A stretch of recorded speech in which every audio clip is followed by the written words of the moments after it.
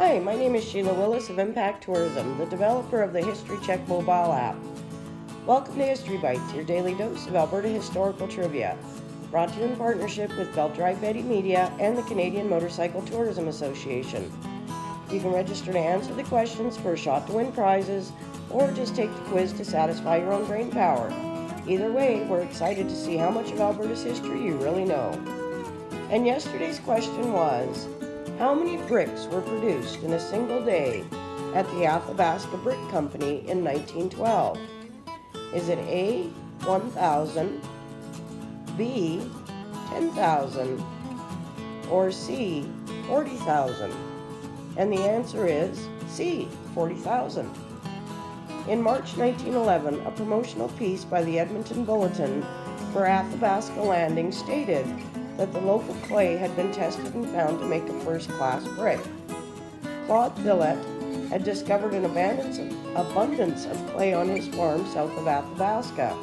After doing some experiments with positive results, he established a brick factory.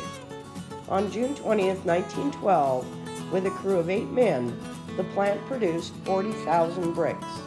With a demand greater than the supply, Mr. Thillet installed an up-to-date brick plant with a capacity to produce 50,000 bricks a day. According to the Nor- Northern News, it had arrived by September 1912. Soon drying sheds were built and large amounts of wood were brought in to be used as fuel. Plans were underway to drill for gas as it would provide a cheaper fuel with easier access than all that wood. His bricks were used to rebuild many local buildings after the 1913 fires decimated the town. One was the Hudson's Bay Company store, which closed in 1924 and was demolished in 1966. In 1913, Mr. Thillet also hired Ewald W. Walden, an expert potter. Walden, who had had years of experience in Germany and the U.S., tested the blue-gray clay for pottery qualities.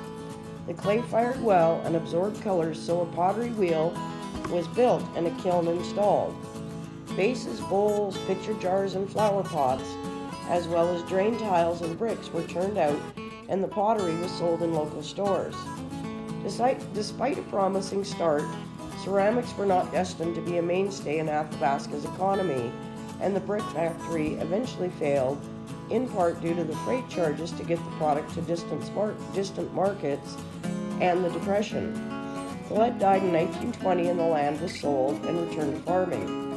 Mr. Walden, the potter, established a small brick and pottery plant on his farm, which supplied bricks and utensils to local farmers for a number of years. The tradition of pottery lives on in Athabasca through the local pottery club. They are one of, if not the only club that still makes its own clay in Alberta. It's taken from the original farm where the current owners have been donating it for more than 50 years. The images of the Athabasca pottery in the video have been supplied by the Athabasca Archives, who have some pieces on display, as well as other information about brick and pottery industries in the area. And tomorrow's question is The population of Edmonton in 1892 was 700 people. How many showed up to protest the move of the land office?